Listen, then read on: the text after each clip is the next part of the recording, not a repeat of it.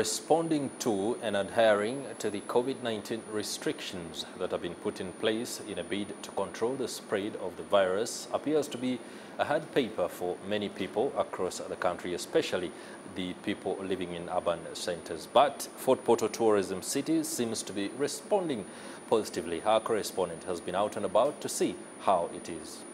In the middle of town, a number of shops remain closed and only a few vehicles can be seen on the road. Most boda boda cyclists have also complied with the directive of carrying only cargo. At Kabundaire Merchandise Market, a number of stores have been seen closed.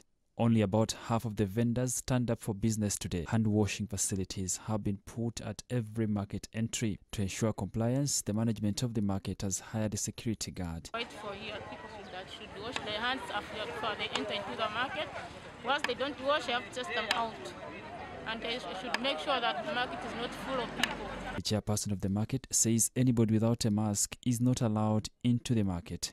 He has asked vendors to make proper use of the hand washing facilities to guard against any infection. Get the vendors to put on masks on their mouth and nose to be covered fully.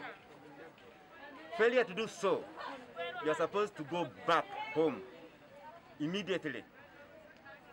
Now, though we are on starvation, we, sh we should be patient on our work. He disclosed that a few vendors from the fresh food section have also started sleeping within the markets. Various Fort Portal dwellers have spoken out on the ongoing lockdown and the second wave of COVID-19. affected me even much more bigger than the first one. Because this time round, we were getting out of the first lockdown and we were starting to resurrect and get a way out, survive and continue with life. Story by Roger Sunday for the news in Fort Portal City.